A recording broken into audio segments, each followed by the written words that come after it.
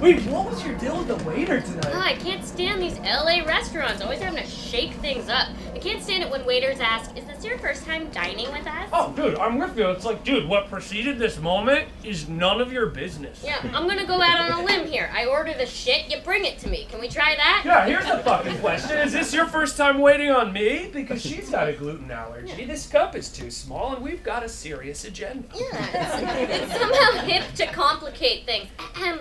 We don't do menus here. It's really fun.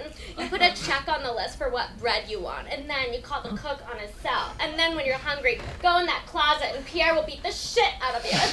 You need.